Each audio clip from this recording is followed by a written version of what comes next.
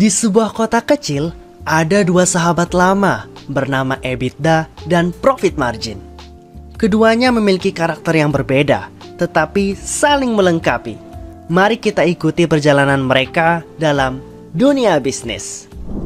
EBITDA, singkatan dari Earnings Before Interest, Taxes, Depreciation, and Amortization adalah anak tertua di keluarga pendapatan. Dikenal sebagai indikator kesehatan operasional bisnis, ia menunjukkan seberapa baik suatu perusahaan menghasilkan uang dari operasi utamanya tanpa mempertimbangkan beban bunga, pajak, penyusutan, dan amortisasi. Di sisi lain, ada profit margin. Dia lebih fokus pada bagian akhir cerita, mengukur seberapa besar laba yang dihasilkan dari setiap dolar pendapatan. Ia memberikan gambaran tentang efisiensi keseluruhan bisnis dalam mengubah pendapatan menjadi keuntungan bersih. EBITDA dengan sikapnya yang optimis selalu melihat keuntungan dari operasi bisnis tanpa gangguan dari beban lain.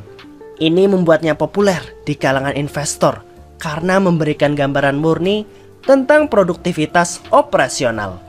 Namun, kritik mengatakan EBITDA terlalu sederhana dan bisa mengabaikan aspek-aspek penting lainnya dari kesehatan keuangan perusahaan seperti utang dan modal. Profit margin dengan pendekatannya yang holistik menunjukkan gambaran besar.